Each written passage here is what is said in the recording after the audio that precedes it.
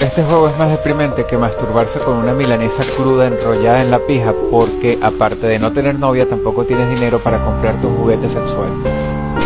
Yo cuando juego no uso el cerebro, no quiero usar el cerebro, para eso está la realidad. Yo cuando juego uso el semen.